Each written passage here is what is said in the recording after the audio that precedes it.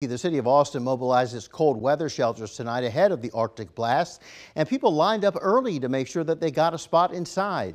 KXAN's Mercedes Hernandez spoke with people who say they're getting ready to ride out the next few days of bitter cold. Before registration started Saturday night, people with their bags and blankets packed were already lined up to get a spot at the city of Austin's cold weather shelter, many experiencing homelessness. I'm here with a friend, so we decided to just ride the bus until it opened up at 5. Derek Cortez is currently homeless. He says getting to the shelter was fairly easy. He took the bus to the One Texas Center near downtown, where a shelter has been set up.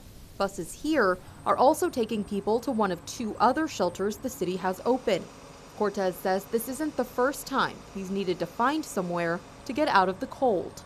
Was here for three days when they had the last um, last year's cold shelters and you know i'm just thankful that they have this because before it was like what do we do? Get extra blankets?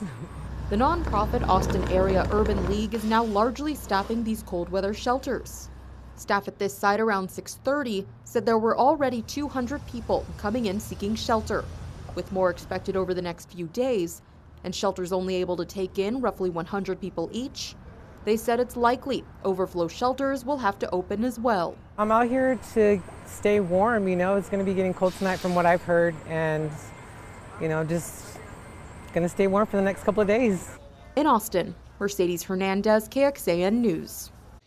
The city's cold weather shelters will be open through Tuesday with registration happening every day at One Texas Center on Barton Springs Road. Well, people